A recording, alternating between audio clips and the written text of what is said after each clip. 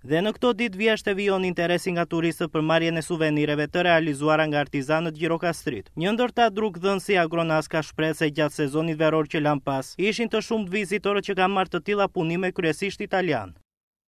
Sivjet si jo si çdo vit ishte një një prurje shumë e madhe domethënë e turistëve të huaj dhe të vendit Kështu që edhe ne kishim kishim punë më mirë nga vitet e tjera.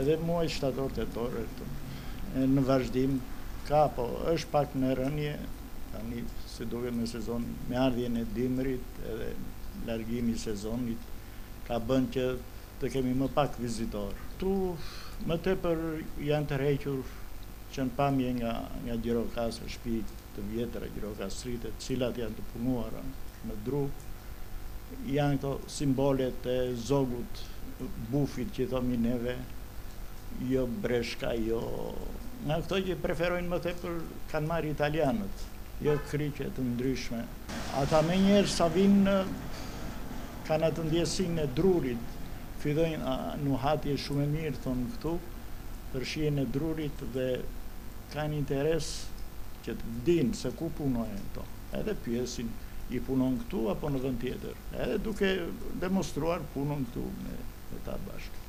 Ndërkaq këto ditë përkojnë dhe me festat e Pavarësisë dhe të Çlirimit të vendit, ku nëpërmjet punimeve artizanale përjetësohen figurat dhe simbolet kombëtare. Sipas mjeshtrit Haska priten risi dhe projekte të reja me këtë rast. Kam disa projekte të vogla që mundohemi të bëjmë. Po mes këtyre projekteve do ketë risi, krahasuar me punimet që keni bërë gjatë viteve të kaluara? Tani të shohim. Po kemi bërë shqiponjën, duke shkruar inicialet poshtë njëzet e tetë edhe njëzet e nëntë nëntori, flamurin kombëtar, E këto simbole janë të jo Skënderbeun, jo gjëra kështu që lidhen. A është e domosdoshme që këto festa të këto ditë, këto simbole që përfaqësojnë vendin tonë të përjetësohen nëpërmjet punimeve artizanale dhe pse?